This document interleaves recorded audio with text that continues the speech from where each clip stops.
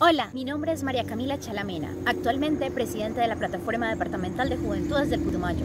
Tengo 24 años y soy abogada de profesión, también educadora para la convivencia ciudadana. Me encuentro cursando una especialización en gerencia de proyectos. Creo firmemente en los procesos de transformación ciudadana a partir de la educación, del intercambio de la palabra, del reconocimiento y de la validación de los derechos del otro, de lo otro, de la otredad de la integración y una patria pluralista que respete y que acepte la diversidad.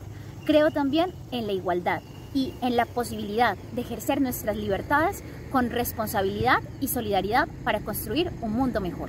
Desde mis 13 años participo del activismo ciudadano, participando en grupos de interés, tanto con infancia, adolescencia y juventud.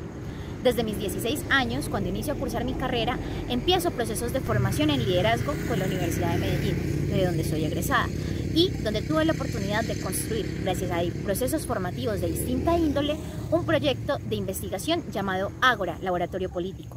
Me dedico constantemente a procesos de formación en temas de derecho, en temas de protección de los derechos y sobre todo de la participación política activa, haciendo agentes de cambio y de transformación a los jóvenes en las sociedades democráticas. Con la entrada en vigencia de la Ley Estatutaria 1622 del 2013 y la 1885 del 2018, los jóvenes en Colombia asumimos el reto y la responsabilidad de la gobernanza, de hacer parte activa de la política en nuestro país, construyendo rutas de solución que permitan hacer entornos más seguros para todas las personas. En lo corrido de este año 2020 tuvimos la oportunidad de hacer enlace con la comunidad internacional entre ellos con USAID, y poder fortalecer los procesos de formación desde el departamento del Putumayo, haciendo frente a la violencia y el conflicto desde el conocimiento, desde la articulación ciudadana y desde el trabajo en la base.